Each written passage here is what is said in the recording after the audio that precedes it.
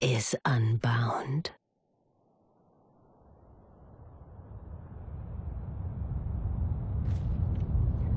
And the lands between are shrouded by death's dark fate. But the flames will also burn the impenetrable thorns.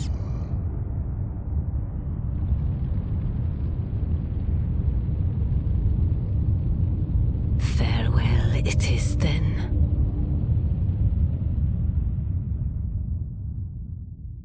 You'll be Elden Lord yet.